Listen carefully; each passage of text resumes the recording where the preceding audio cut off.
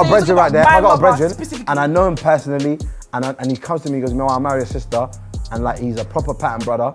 That's fine with me. Yeah, yeah. Wallah, that's fine with me. Exactly. So you, agree with me? Yeah. You're weird, fam. I said the No, same thing. Uh, you- And you... you're different man. You do stuff.